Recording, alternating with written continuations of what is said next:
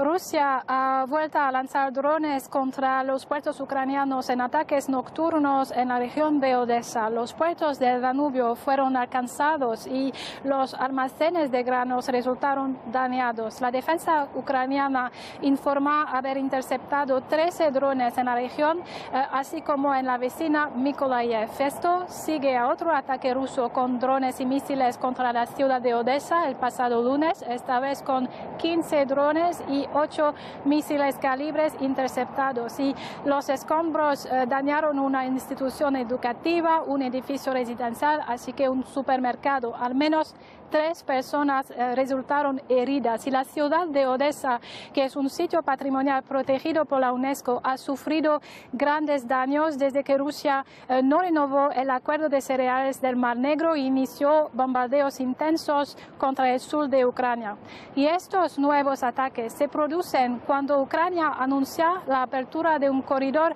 temporal en el Mar Negro para aquellos barcos inmovilizados desde el año pasado eh, por el bloqueo ruso. Eh, hoy por la mañana un primer barco eh, partió del puerto de Odessa con 30.000 toneladas de cargo a bordo, incluidos cereales, y este barco, el Joseph Schulte con bandera de Hong Kong, eh, se encontraba inmovilizado desde el 23 de febrero de 2022. Y en respuesta del bloqueo ruso, Letonia ofrece exportar hasta un millón de toneladas de cereales ucranianas